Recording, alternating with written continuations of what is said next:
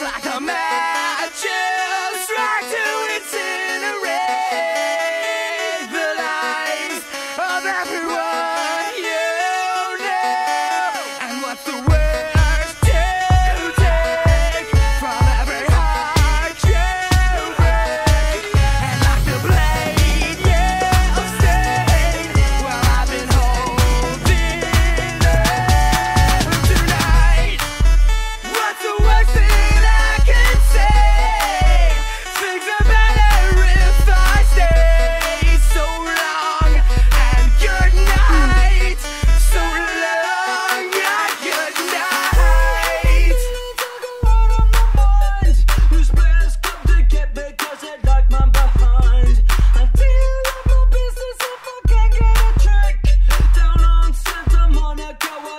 for kids.